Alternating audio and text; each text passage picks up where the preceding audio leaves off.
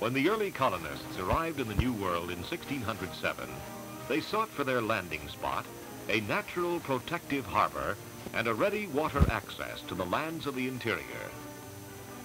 Midway along the Atlantic coast, they found what they were seeking, a harbor surpassed by none in the world. They sailed in and founded the first permanent English settlement in America at Jamestown in the land they called Virginia. A hardy lot, these settlers had soon built a thriving colony with its capital at Williamsburg.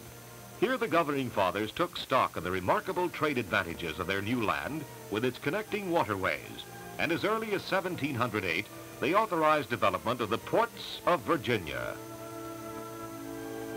With little exception, these ports exist today. Alexandria, far up the Potomac River, Richmond and Hopewell on the James, and the great natural harbor area of Hampton Roads. Today, four port cities have grown and prospered around this famous water gateway to inland America. Newport News, Norfolk, Portsmouth, and South Norfolk. Four separate cities, yet all team together to form one port, Hampton Roads, unsurpassed anywhere else in the world.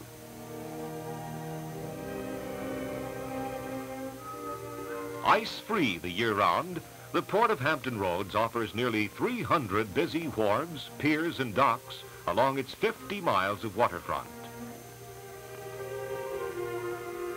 Vast warehouses and transit sheds spread over more than 200 acres.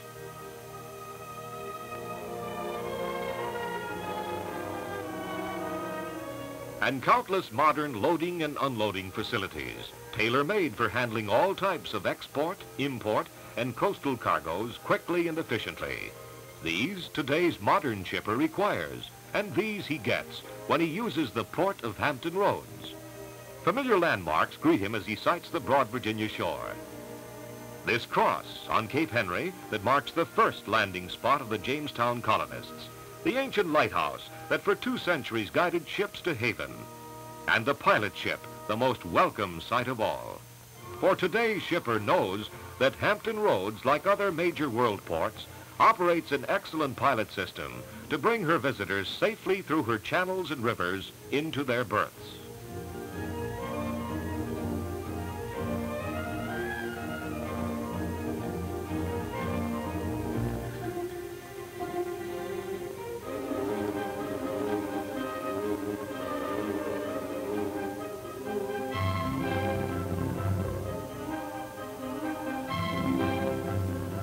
Under command of a pilot who is experienced in every navigational detail of the port, it's full speed ahead.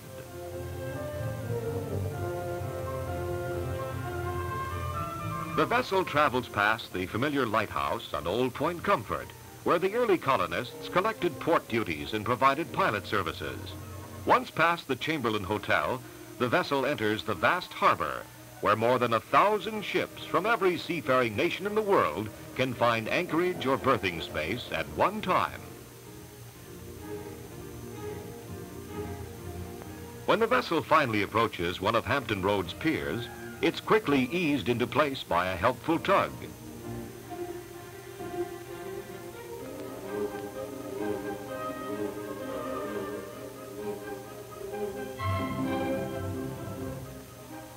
With the long sea voyage over, arrangements are made for unloading and loading.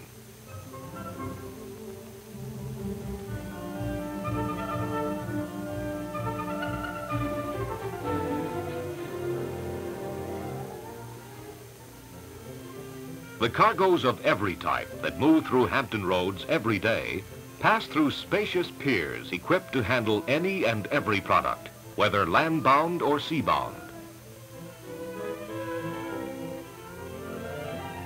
Deep water right up to the piers and shipside warehouses makes them readily accessible for loading, unloading, and storage of general cargoes.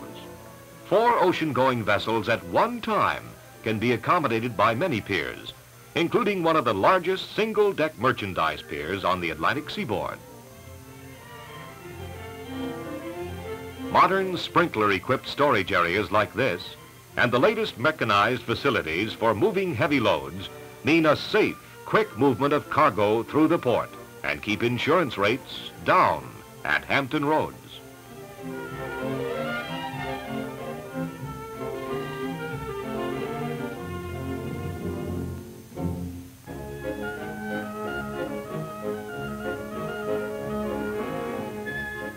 For whatever the cargo, cotton or tobacco, peanuts or chemicals, heavy machinery or grain, whether bulk or raft, extra length or heavy lift, the Port of Hampton Roads is equipped to handle it with safety and ease.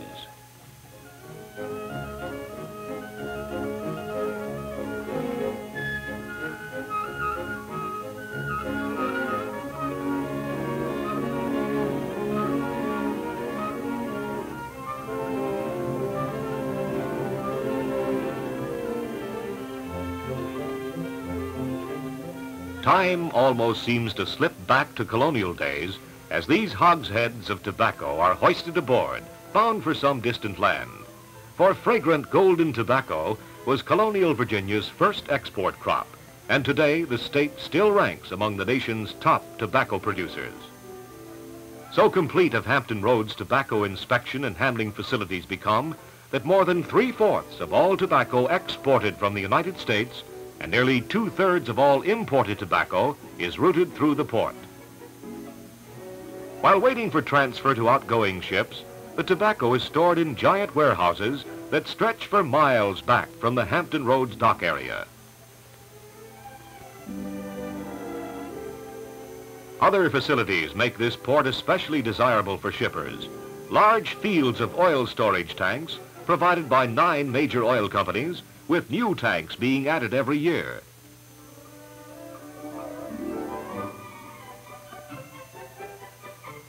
Floating ship refueling stations that speed up turnaround time. A grain elevator with a marine leg on the edge of deep water that wastes no time in keeping the waiting ships filled with American grain.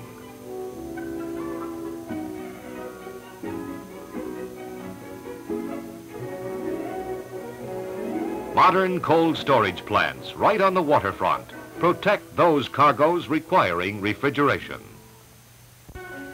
Fumigating plants are located close to the piers and warehouses.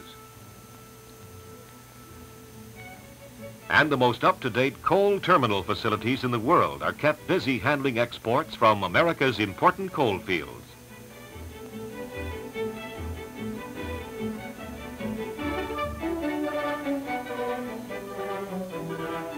Railroad cars filled to the brim with coal arrive daily from Virginia, West Virginia, and Kentucky, ready for shipment to firesides and factories all over the world. 200,000 tons of coal can be loaded efficiently from car to ship every day, both from high-level piers and from low-level piers. Electrically operated, these low-level piers can handle 40 120-ton railroad cars every hour automatically. An empty returns for a new load as a full car heads for the giant elevator.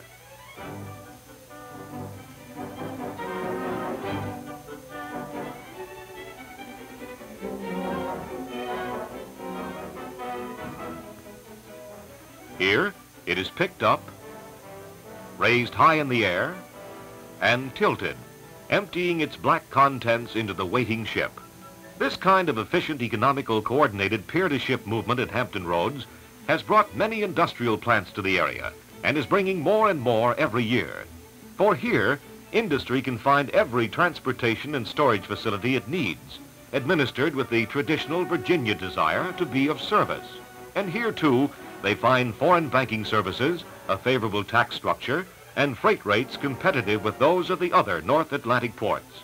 Vitally important to the users of any port are the service and repair facilities it can provide.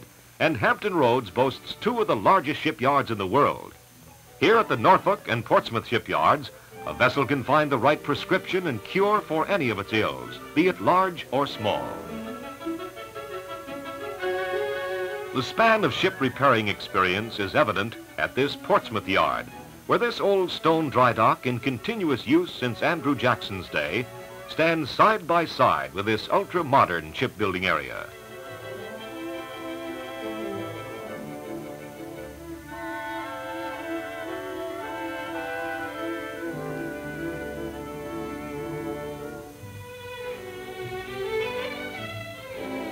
Across the harbor at Newport News stands one of the largest private shipyards in the world.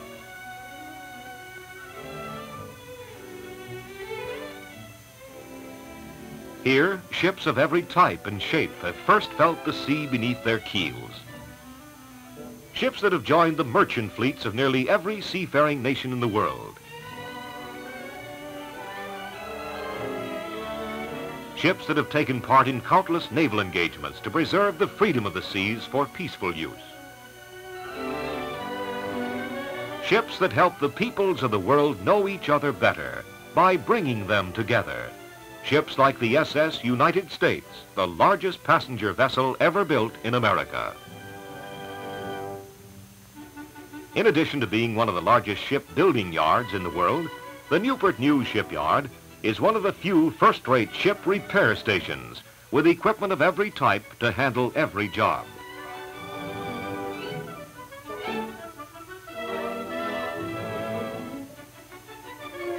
But today's shipper requires even more than complete port facilities. He demands ready access from the port to his market areas. There, too, Hampton Roads stands ready to serve him. Its location on the central Atlantic coast makes it especially accessible to the heart of America, both for dispersing imports and for funneling in exports.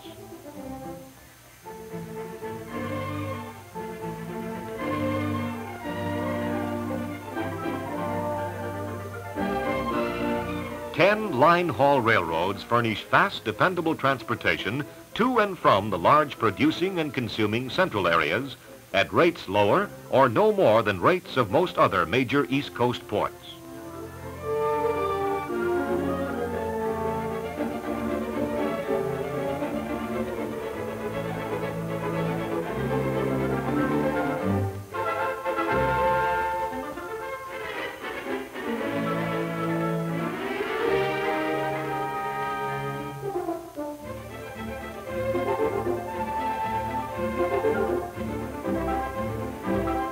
A Port Beltline Railroad ties together the services of the major trunk lines and together with these lines serves all sections of the improved waterfront.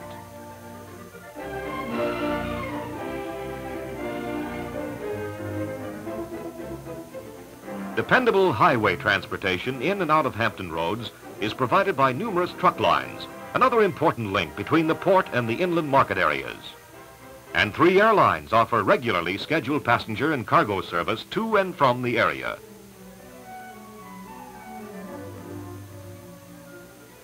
Virginia's river ports bring the sea even closer to many large American markets. Alexandria, site of Mount Vernon, the historic home of George Washington, is just down the Potomac River from Washington, D.C.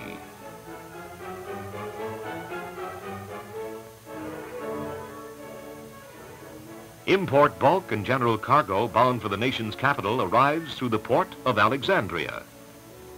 Here, a large open pier, a wide channel, and modern warehouses welcome visits from ocean-going vessels carrying products of all types. Frequent callers are ships supplying Washington's daily newspapers with nearly their entire supply of newsprint.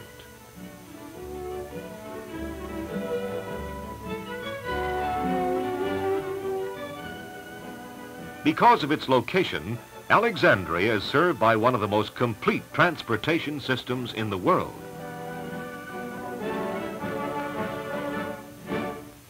South of Alexandria, midway up the James River from Hampton Roads, is the port of Hopewell. Its skyline marked by the silhouette of a huge chemical plant, a familiar sight in the important chemical producing state of Virginia. A deep channel maintained by the United States government in the James River makes Hopewell's dock area accessible to vessels of all sizes.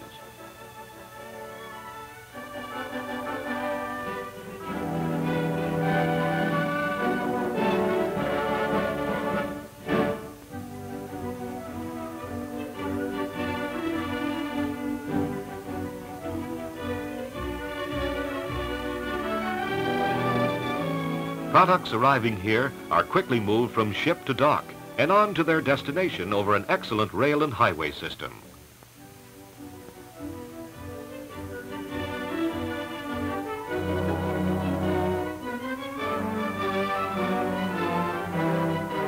Farther up the James River is the port of Richmond, the present-day capital of the state of Virginia.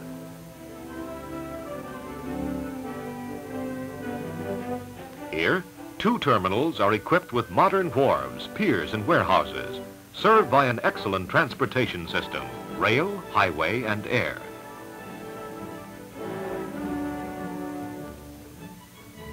Today, more than 300 steamship, coal and tanker and general cargo lines serve the ports of Virginia. More than 8,000 sailings each year to nearly 300 world ports. For here in Virginia, shippers have found facilities tailor-made for handling their products, no matter what they are. But more than that, they have found an attitude of service, a sincere desire to provide whatever is required to make a shipper's operation efficient and economical this dedication to service is responsible for the growth of the ports of Virginia in the past, and with this same dedication, they look to the future.